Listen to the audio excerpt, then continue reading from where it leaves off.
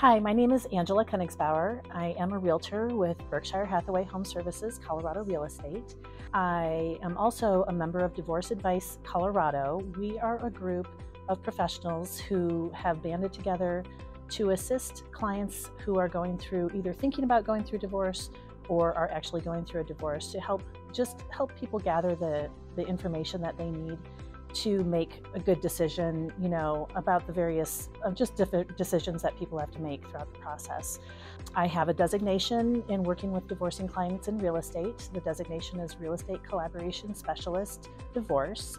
And the purpose of the designation is really like it, just like it says, is to work collaboratively with my clients as well as, you know, anybody else that's involved in that process, be it a divorce attorney or a mediator, and helping the clients come up with the best solutions to um, what to do with their marital property. The reason why I got into this and the reason why I went and got that designation is because I just witnessed so many people, um, you know, making really very emotional decisions about the marital property and not looking at it from as much of a business perspective. And it is important because of it being most people's largest asset to really just kind of take a step back and try to take the emotion out of the process. You know, I think people tend to feel like they're kind of winning if they they win the house, they've won that asset.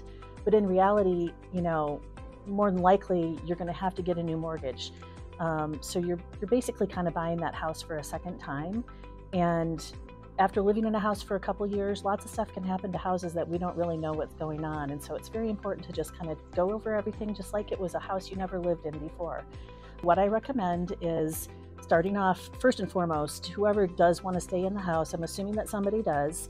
Um, you know, I'm kind of approaching it from that standpoint that somebody wants to stay in the house. That person needs to talk to a lender right off the bat as soon as possible, as soon as they know that they really want to stay in that house to find out what's it going to take? Can i qualify? So you need to find out from a lender you know what's it going to take? Do i do i have the income or am i going to have the maintenance payments or am i going to have what i need to to actually get this loan? And then also you know right alongside of that go ahead and get an inspection done on the house just like you would if you were buying a different house. Find out everything there is to know about it from a you know physical standpoint like what's going on with the roof what is going on with the furnace what's going on with the major systems because if there's, you know, if work needs to be done on that house, that can really heavily impact your equity in the house.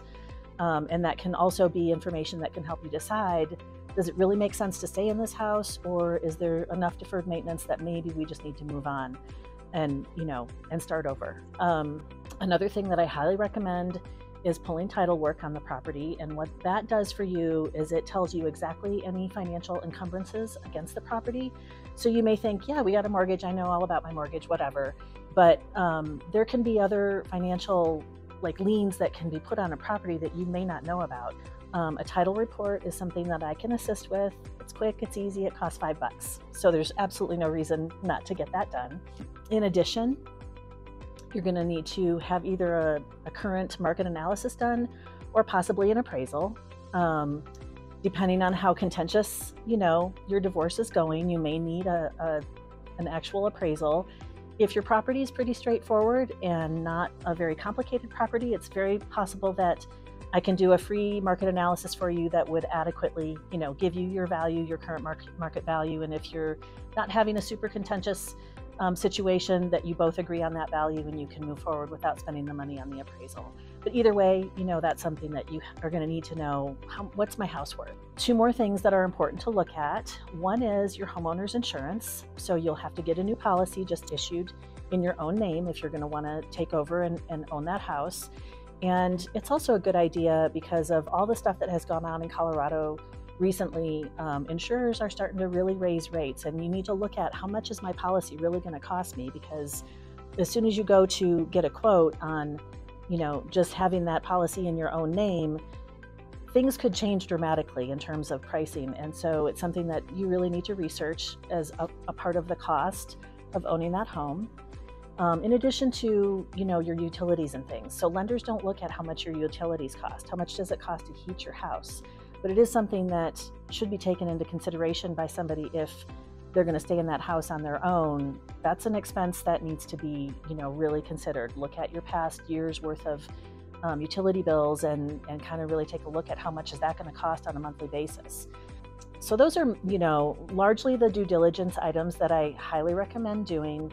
And those things can really help you take, take a step back from the process. At the end of that, if it makes sense, then fantastic. Then you stay in that house, and if that's what you want, fantastic.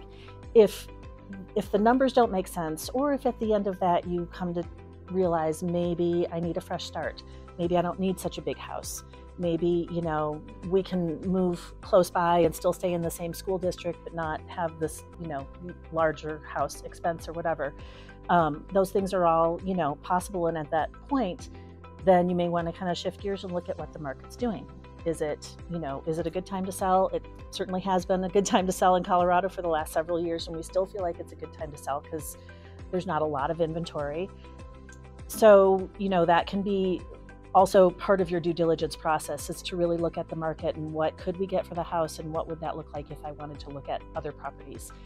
Um, that's the main you know message that I want to deliver, and you know offer my um, availability to just sit down and have coffee and talk in much more detail, or actually come and take a look at your property. All of that would be you know complimentary and and just basically a resource to you as I am a realtor working in this market, working with buyers, sellers, investors, and and can offer you kind of all of that, you know, expertise in helping you make that decision and, and moving forward in your life.